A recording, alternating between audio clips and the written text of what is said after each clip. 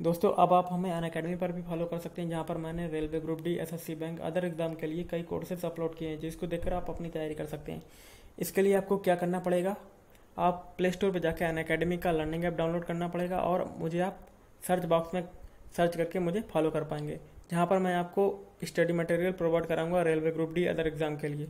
और आप मुझे डायरेक्ट मैसेज भी कर पाएँगे। तो इस वीडियो में हम लोग करने वाले मैथ के कुछ क्वेश्चन जो कि आज पूछे गए हैं। तो दोस्तों, बने रहिए हमारे साथ। अगर आपने अभी तक हमारा चैनल सब्सक्राइब नहीं किया चैनल को जल्दी से सब्सक्राइब कर लीजिएगा और पास में जो बेल आइकन होता है, उसको भी दबा लीजिएगा ताकि आपको टाइम टू टाइम नोटिफिकेशन मिलता रहे। चलिए स्टार्ट करते हैं। देखिए, हमारा पहला क्वेश्चन बनता है A ratio B is equal to two ratio three okay B ratio C is equal to four ratio seven तो हमें बताना A ratio B ratio C का मान क्या होगा? तो सबसे पहले हम लोग लिखते हैं ए रेशियो बी कितना है? Two ratio three B ratio C कितना है? फोर रेशियो सेवन अब देखिए, ये सी की जगह आगे खाली है तो इसको तीन को उठा के हम लोग आगे कॉपी कर देंगे ओके अब देख ली भोर के पीछे ये खाली स्थान है तो इसकी जगह हम लोग क्या करेंगे? चार कापी कर देंगे यहाँ। ये उठा के चार कापी कर दिया। अब क्या करेंगे?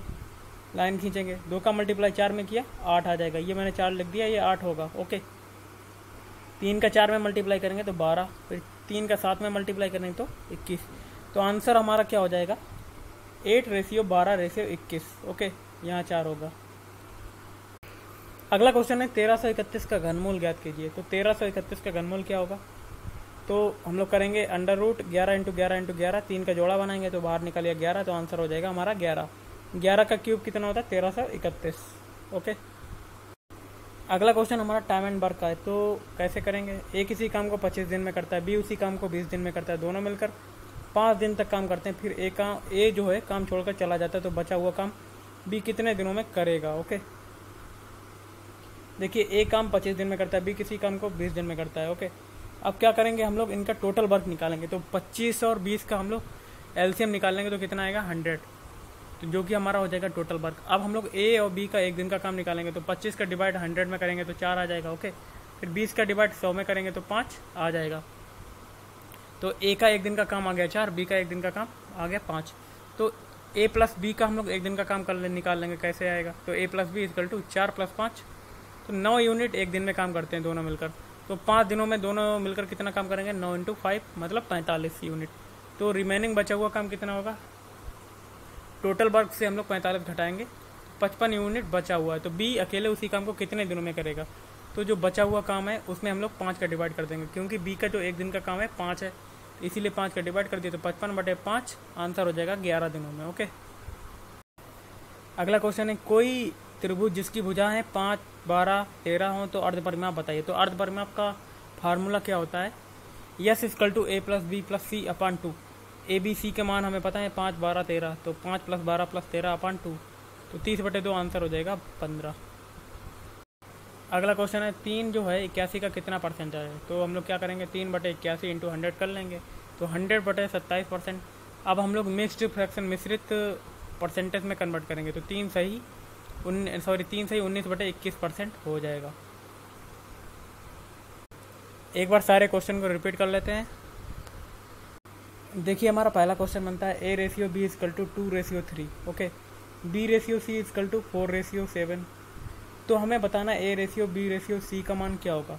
तो सबसे पहले हम लोग लिखते हैं ए रेशियो बी कितना है? Two ratio three B ratio C कितना है? फोर रेशियो सेवन अब देखिए, ये सी की जगह आगे खाली है तो इसको तीन को उठा के हम लोग आगे कॉपी कर देंगे ओके अब देख ली भोर के पीछे ये खाली स्थान है तो इसकी जगह हम लोग क्या करेंगे? चार कापी कर देंगे यहाँ। ये उठा के चार कापी कर दिया। अब क्या करेंगे?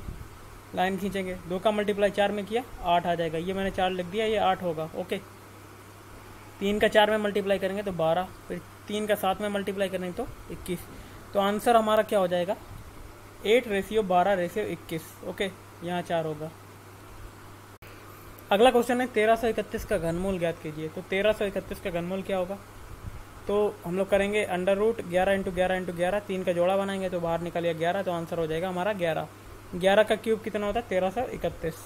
ओके अगला क्वेश्चन हमारा टाइम एंड वर्क का है तो कैसे करेंगे? ए किसी काम को पच्चीस दिन में करता है बी उसी काम को बीस दिन में करता है, दोनों मिलकर पाँच दिन तक काम करते हैं, फिर ए काम ए जो है, काम छोड़कर चला जाता है तो बचा हुआ काम बी कितने दिनों में करेगा ओके देखिए ए काम पच्चीस दिन में करता है बी किसी काम को बीस दिन में करता है ओके अब क्या करेंगे, हम लोग इनका टोटल वर्क निकालेंगे तो 25 और 20 का हम लोग एलसीएम निकालेंगे तो कितना आएगा? 100 तो जो कि हमारा हो जाएगा टोटल वर्क अब हम लोग ए और बी का एक दिन का काम निकालेंगे तो 25 का डिवाइड 100 में करेंगे तो चार आ जाएगा ओके फिर 20 का डिवाइड 100 में करेंगे तो पाँच आ जाएगा। तो ए का एक दिन का काम आ गया चार बी का एक दिन का काम आ गया पाँच। तो ए प्लस बी का हम लोग एक दिन का काम कर ले, निकाल लेंगे, कैसे आएगा? तो A plus B is equal to चार प्लस पाँच। तो नौ यूनिट एक दिन में काम करते हैं दोनों मिलकर। तो पाँच दिनों में दोनों मिलकर कितना काम करेंगे? नौ इंटू फाइव मतलब पैंतालीस यूनिट तो रिमेनिंग बचा हुआ काम कितना होगा? टोटल वर्क से हम लोग पैंतालीस घटाएँगे।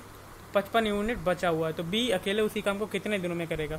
तो जो बचा हुआ काम है, उसमें हम लोग पाँच का डिवाइड कर देंगे, क्योंकि बी का जो एक दिन का काम है, पाँच है। इसीलिए पाँच का डिवाइड कर दिया तो पचपन बटे पाँच आंसर हो जाएगा ग्यारह दिनों में, ओके?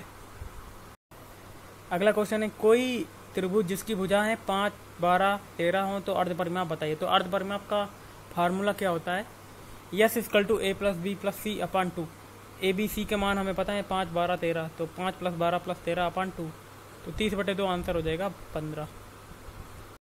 अगला क्वेश्चन है, तीन जो है इक्यासी का कितना परसेंट है? तो हम लोग क्या करेंगे, तीन बटे इक्यासी इंटू हंड्रेड कर लेंगे तो हंड्रेड बटे सत्ताईस परसेंट अब हम लोग मिक्सड फ्रैक्शन मिश्रित परसेंटेज में कन्वर्ट करेंगे तो तीन सही उन सॉरी तीन सही उन्नीस बटे इक्कीस परसेंट हो जाएगा।